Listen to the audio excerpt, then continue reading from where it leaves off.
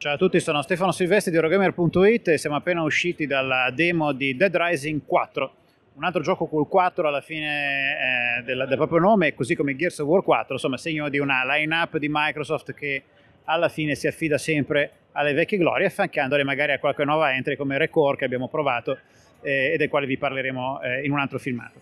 Eh, la formula di Dead Rising 4 questa volta eh, c'è un cambio di protagonista che poi si ritorna all'originario Frank West, si ritorna a Willamette in Colorado eh, nel periodo natalizio, quindi insomma con eh, tutti gli addobbi del caso.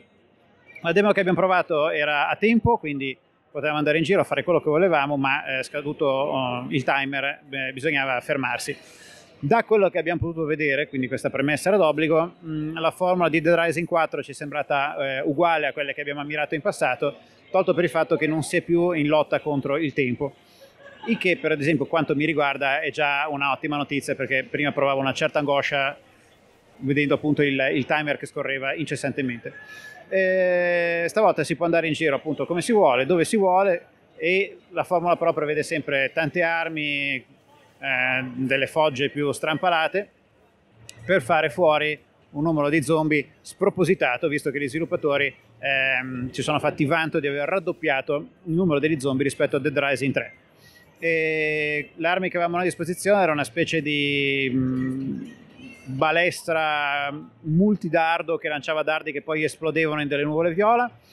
Avevamo un'ascia eh, elettrica che oltre che chiaramente uccidere tonnellate di zombie eh, per ogni colpo, poi si caricava e eh, con la pressione dei tasti Y e B eh, partiva una sorta di mossa speciale con una serie di fulmini che eh, uccidevano tutti gli zombie nei paraggi. Eh, abbiamo provato una spada di ghiaccio e poi chiaramente tutte le solite armi, assi di legno con dentro i chiodi, asce e insomma chi più ne ha più ne metta. Ehm,